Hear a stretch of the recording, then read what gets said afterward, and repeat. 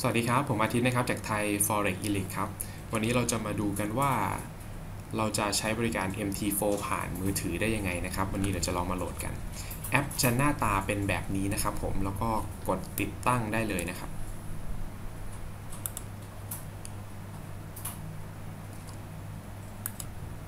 หลังจากที่เข้ามาในแอปพลิเคชันนะครับ คนที่มีรหัสแล้วก็กรอกรหัส MT4 ของตัวเองลงไปนะครับ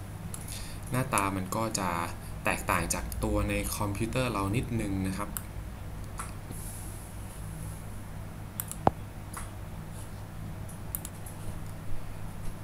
จะมีแถบเครื่องมือด้านซ้ายนะครับผมตรงที่เป็นรูปคนตรงนี้ครับจะแจ้งว่าเราเป็นบัญชีอะไร แล้วก็มีวงเงินเท่าไหร่นะครับจะแจ้ง status เนื่องจากตรงนี้ผมยังไม่ได้กรอกบัญชีจริงไป ก็จะขึ้นเป็นบัญชี demo มาก่อนนะครับเอาไว้สำหรับให้ท่านลองระบบ ตัว หน้าต่างถัดมาก็จะเป็นหน้าต่างที่โชว์ว่าท่านมีคู่เงินไหนที่หยิบขึ้นมาเพื่อที่จะไว้เทรดบ้างนะครับ ถ้าอยากจะดูกราฟตรงไหนก็สามารถคลิกไปที่คู่เงินนั้นได้เลย กราฟจะมาโผล่ตรงทางด้านขวานะครับตรงนี้ก็เหมาะไว้สำหรับเช็ค status หรือว่าดูดูว่าหลังจากที่เราตั้งค่าผ่านหน้าจอคอมแล้วเป็นยังไงเอาไว้ดูนอกสถานที่นะครับ แต่ว่าการที่จะมาเทรดนอกสถานที่เลยตั้งแต่เริ่มต้นการออก ออเดอร์ออกไม้อะไรต่างๆ ตรงนี้น่าจะยังไม่ถนัดเท่าที่ควรนะครับ ตรงหน้าต่างนี้จะเป็นแชทนะครับ เผื่อว่ามีข้อมูลอะไรต่างๆ ที่เราอยากจะติดต่อกับทางตัวคนให้บริการ MT4 นะครับ หรือแจ้งปัญหาก็สามารถส่งเข้าไปตรงนี้ได้ หน้านี้จะเป็นการเซตตั้งค่าต่างๆนะครับ ก็ลองเข้าไปตั้งค่ากันดู ด้านล่างสุดเลยจะเป็นการแนะนำนะครับว่า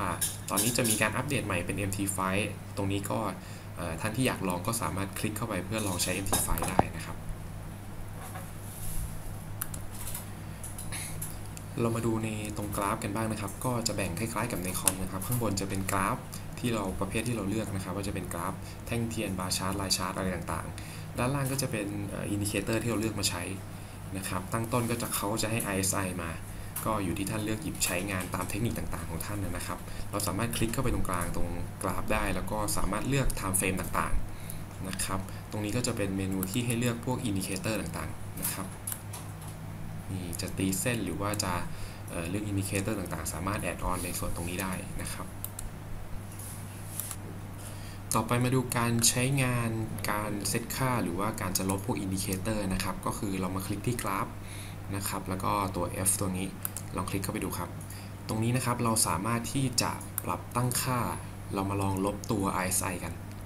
นะครับว่าเอ้เราไม่เทคนิคนี้เราไม่ต้องใช้ RSI เราลองมาลบกันนะครับ กดที่ถังขยะตรงนี้ครับปึ๊บแล้วก็ติ๊กติ๊กถูกนะครับ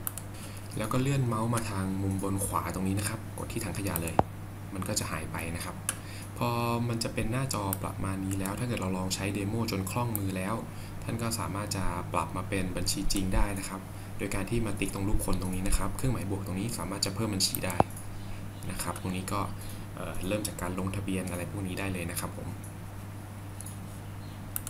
ส่วนฟังก์ชันของการซื้อขายนะครับ ก็เราก็ต้องมามองด้านมุมขวาตรงนี้เป็นตัวกระดาษและเครื่องหมายบวกตรงนี้นะครับ กดเข้าไป หน้าจอในการซื้อขายออกคำสั่งต่างๆ จะมาโผล่ตรงนี้ครับ นะครับ ท่านก็สามารถเลือกล็อตในการลงทุน แล้วก็ตั้ง take profit stop loss ตรงนี้ได้เหมือนกันเลย กด buy กด sell ตรงนี้ได้เลยครับผม โอเค นี่ก็เป็นวิธีการใช้งานคร่าวๆนะครับ ของตัวแอปพลิเคชันนะครับ ตรงนี้ก็สะดวกในระดับหนึ่งนะครับ ผมหวังว่าจะเป็นประโยชน์ ขอบคุณมากครับ